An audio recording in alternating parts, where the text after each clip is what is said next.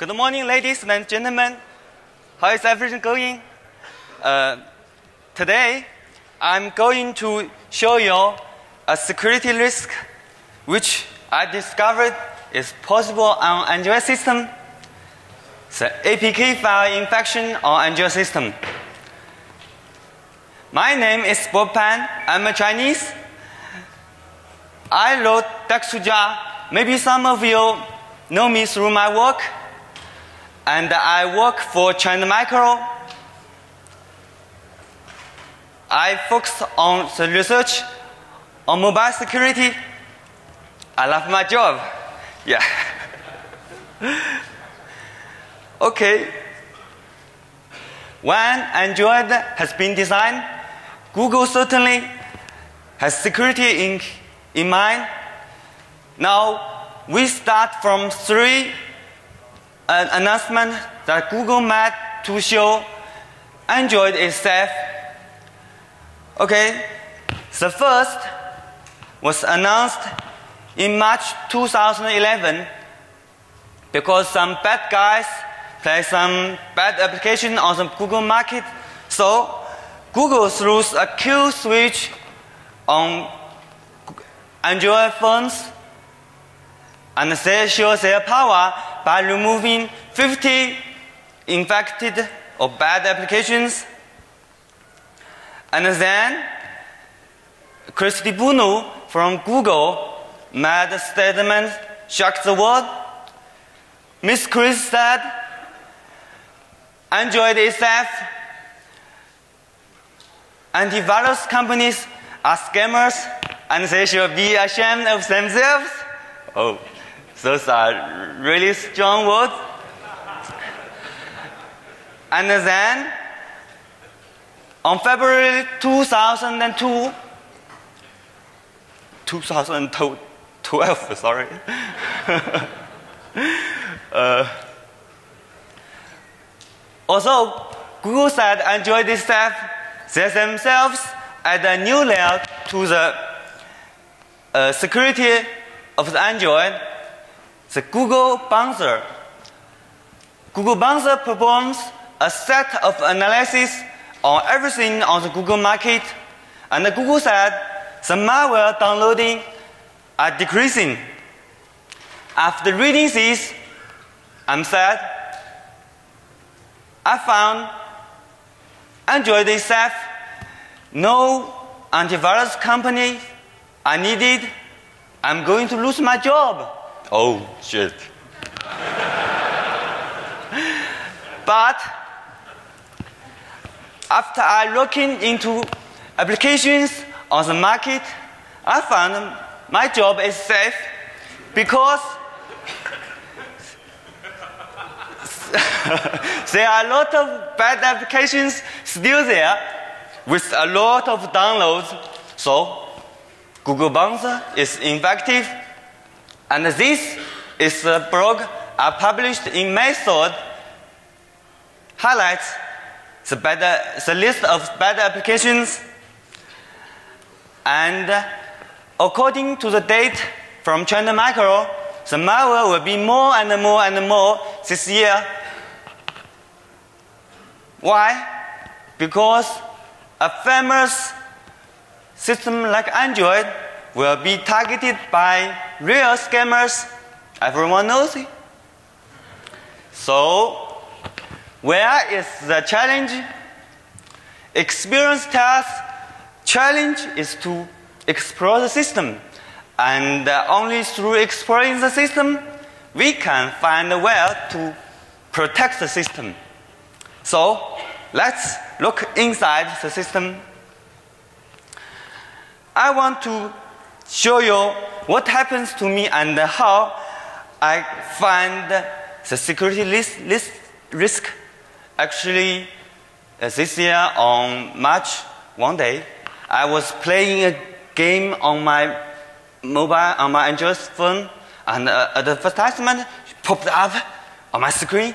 I hate it, so I'm going to remove it, and then I look inside the APK files, and I found APKs I signed the zip fast.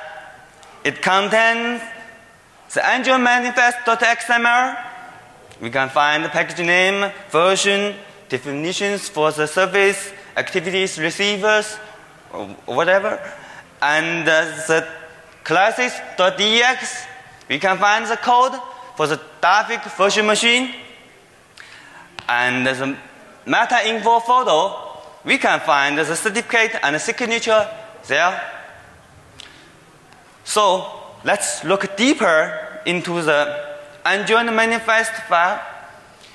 It's a Google defined XML file. Google defined but not documented. So we have to find it by ourselves. We can read the code, source code there. And there many tools can read this. But all of them are limited and we must to do modification on it to make it fit, uh, suitable for the Android system. And the DEX file is in David executed format, this time Google defined and document. Yeah, we can find the format on the Android website. Yeah, and uh, a lot tools can modify it. I personally like the ASMDEX. It's well documented and have a nice API. And the Smiley Back Smiley DX Maker are also good. When I was modifying an application on my Android phone, use the ASM DX, I got an out of memory exception. Then I Google it and I find APKs can only use 16 to 32 megabytes of memory. It is limited and it's not enough for the ASMDEX to modify a, a DX. So we must do in a clever way. And uh, at last, I found by start a separated David virtual machine, we can bypass the limitation. Okay, the last is the meta info photo.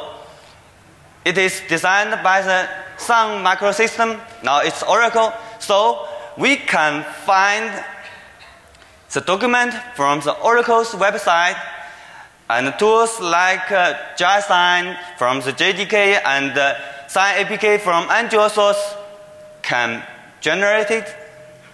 But the Sign APK, we have the source, but it, it is depend on the component only available on the Oracle Java virtual machine. So to make it runnable on Android platform, we have to do small modification to replace the dependence. Okay, I put the previous together and build my advertisement remover and then I choose the remover tool to my teammate.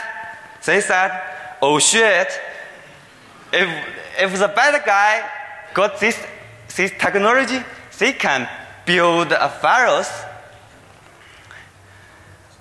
So I look inside code again and build a proof of some concept virus. It can work on Android without root or without any exploit. So it's time to see the magic. The Tom, the, the cat, has an Android phone and he installed Hello World on his device. One day, he got a short message from the mouse, the mouse Jerry, and Jerry asked Tom to install a new version of Dropbox, and Tom downloaded it. Then he installed it. Yeah, so Dropbox is actually a virus that it will try to infect us applications on the device. So let's open the job box.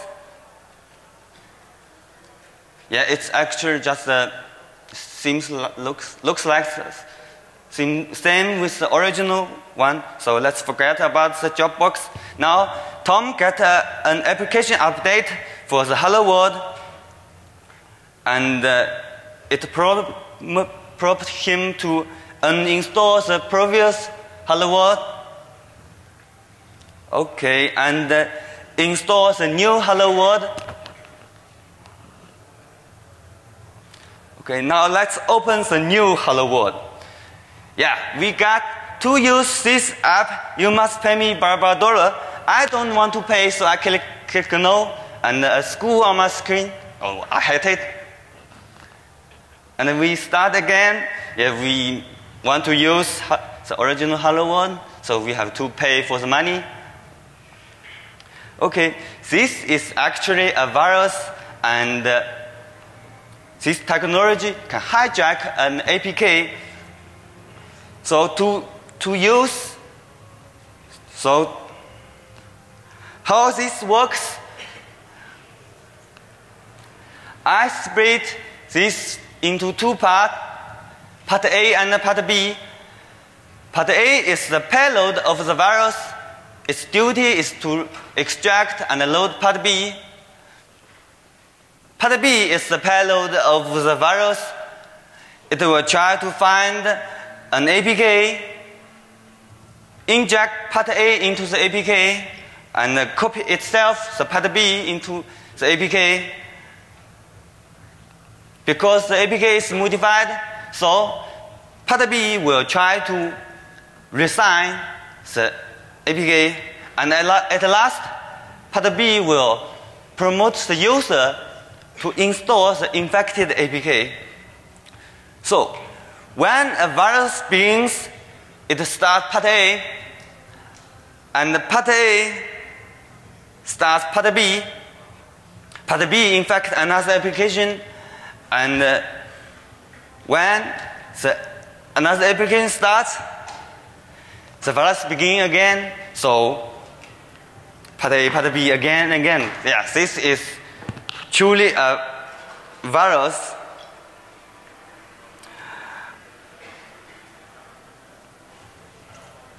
Okay, today I flew from China to United States to talk about the security of Android system.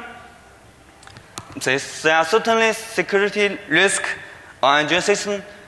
I hope by talking about the risk, the community can join together to solve it, and we are looking forward to work with anybody to make Android safe. Thank you.